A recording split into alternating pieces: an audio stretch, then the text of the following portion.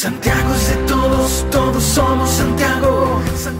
A mi espalda ya se está preparando todo para esta tarde, para esta noche, a que nos encontremos artistas consagrados y también artistas emergentes. Ustedes van a poder comentar con el hashtag Santiago es de todo. Corazones de.